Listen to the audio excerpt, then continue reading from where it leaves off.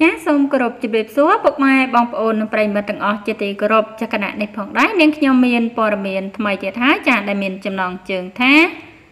ចង់លើសឈាមក្រោយគូស្នេហ៍ខុសចំនួនបុតនឹងម៉ានិចធ្វើរឿងមួយនេះជាមួយគ្នា ចាប្រិយមិត្តនិងបងប្អូនដែលតែងតែតាមដាន សង្គម Facebook ពិតជាបានស្គាល់ច្បាស់នៅទំនាក់ទំនងស្នេហាខុសចំនួន របស់អ្នកសិល្បៈមួយគូរវាងតារាចម្រៀងប្រុសវ័យក្មេងដ៏ស្រស់សង្ហាគឺលោកថៃអតិជាតិបុត្រនិងតារាសម្ដែងដ៏ឆ្នើមគឺកញ្ញាដួងម៉ានិច ដែលបានសាងជាចំណាប់អារម្មណ៍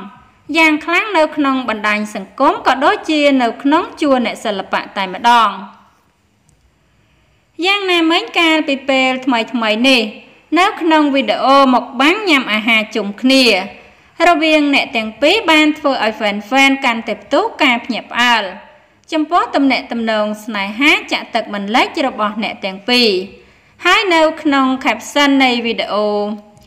ទៀតសោតក៏បានបង្ហោះយ៉ាងដូចនេះថាទឹកត្រីប្រៃតែពេលជ្រលក់ទៅផ្អែមព្រោះហេតុអ្វីពាក្យដែលមានអត្ថន័យមួយឃ្លានេះក៏ទទួលបានការ ចាប់អារម្មណ៍ខ្លាំងពីសំណាក់ fan fan មកលើទំនាក់ទំនងស្នេហារបស់អ្នកទាំងពីរដោយមិនប្រកាន់អាយុ